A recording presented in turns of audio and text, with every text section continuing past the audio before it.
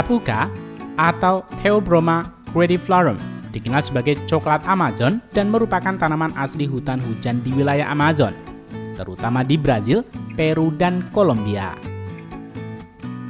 Tanaman ini adalah kerabat dekat dari kakao, Theobroma cacao, yang digunakan untuk membuat coklat pada umumnya. Buah kapuka memiliki kulit tebal dengan daging buah yang lembut dan aromatik. Sering diolah menjadi jus dan produk permen. Selain bijinya yang digunakan sebagai bahan dasar untuk membuat produk mirip coklat, kapuka juga memiliki nilai budaya dan ekonomi yang tinggi bagi masyarakat lokal, terutama di wilayah Amazon. Karena buah ini dianggap sebagai sumber pendapatan penting sekaligus simbol identitas lokal. Secara teknis, kapuka dan kakao memiliki beberapa persamaan dalam proses budidaya dan pengolahannya. Keduanya berasal dari genus yang sama yaitu Theobroma. Dan proses fermentasi serta pengeringan biji kapuka untuk menghasilkan produk mirip coklat, seperti dengan kakao. Namun, ada beberapa perbedaan penting dalam karakteristik akhir coklatnya.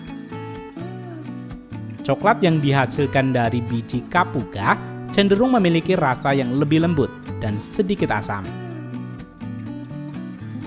Dengan aroma buah yang khas dibanding coklat kakao yang lebih pahit dan kaya. Selain itu, sifat teksturnya juga sedikit lebih creamy karena kandungan lemak yang berbeda dalam bijinya. Pada video kali ini, Rekayasa Teknologi akan mengajak kalian untuk melihat tahapan proses pertanian kapuka di Peru dan Kolombia.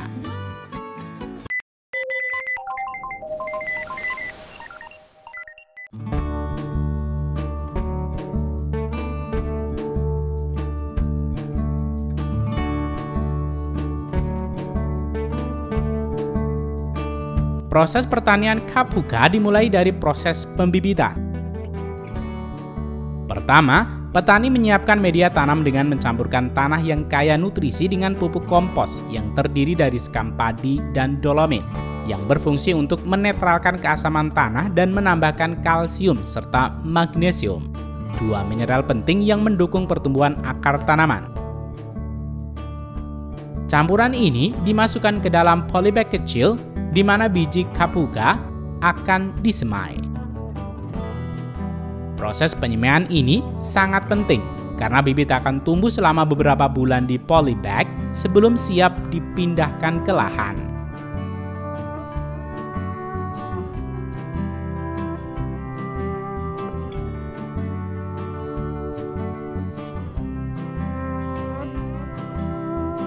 Setelah bibit mencapai umur yang cukup, yaitu sekitar enam bulan hingga satu tahun, mereka dipindahkan ke ladang yang lebih besar.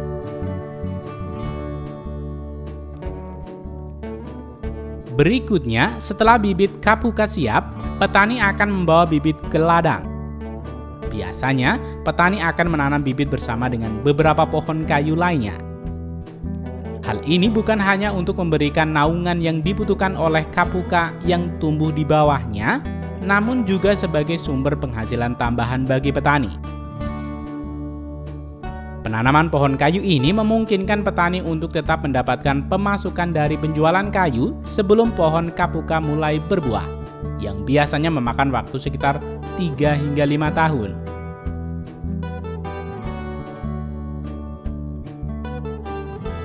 Kemudian setelah penanaman, hal yang perlu dilakukan oleh para petani adalah proses perawatan, sehingga kapuka dapat memiliki pertumbuhan yang optimal.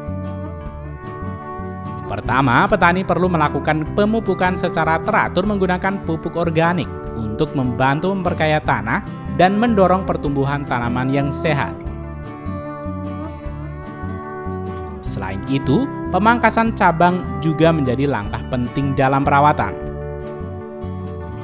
Pemangkasan ini dilakukan untuk mengatur kanopi pohon, memastikan bahwa sinar matahari cukup masuk, serta mencegah serangan hama dan penyakit.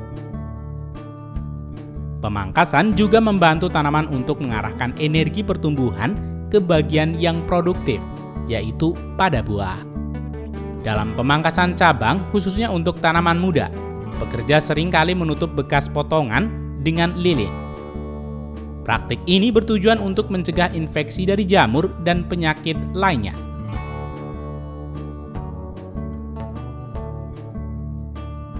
Proses penyerbukan kapuka juga menjadi tahap penting dalam pertanian ini. Meskipun tanaman ini dapat melakukan penyerbukan secara alami, dalam praktiknya banyak petani yang membantu penyerbukan secara manual untuk meningkatkan produksi buah. Beginilah cara petani membantu proses penyerbukan dengan memindahkan serbuk sari dari satu bunga ke bunga lainnya menggunakan alat yang sederhana. Proses ini dilakukan selama musim berbunga untuk memastikan bahwa bunga yang ada berkembang menjadi buah yang siap dipanen.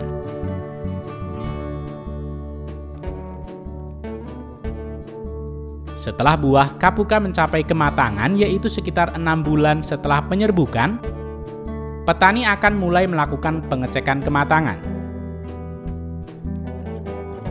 Buah yang sudah matang ditandai dengan perubahan warna kulit dan tekstur buah yang lebih lunak.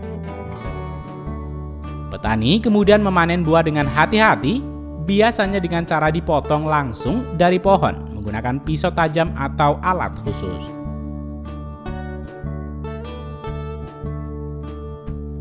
Berikutnya, hasil panen ini akan dibawa ke ruang produksi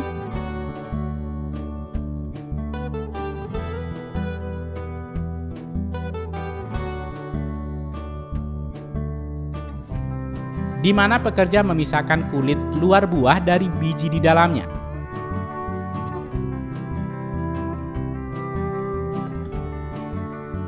Biji yang masih dilapisi dengan selaput tipis kemudian dimasukkan ke dalam mesin yang memisahkan biji dari selaputnya.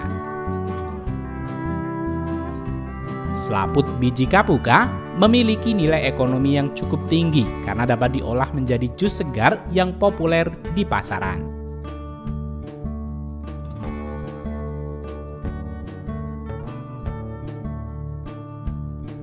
Sedangkan biji kapuka setelah dipisahkan akan dijemur di bawah sinar matahari hingga kering.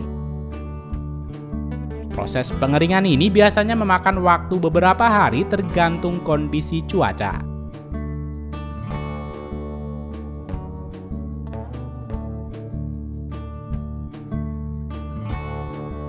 Sementara itu, kulit kapuka dapat dimanfaatkan untuk dijadikan pupuk kompos yang nantinya akan diaplikasikan dan dikembalikan lagi pada tanaman untuk memenuhi kebutuhan nutrisinya.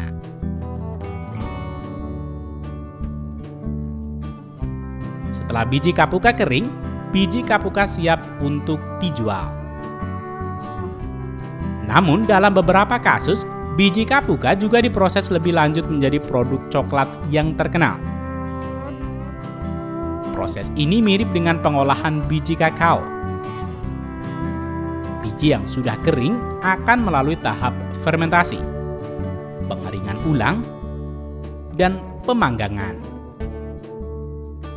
Biji yang telah dipanggang kemudian dihancurkan menjadi pasta kapuka yang selanjutnya digunakan dengan beberapa campuran seperti gula dan susu untuk menjadi produk olahan coklat atau permen.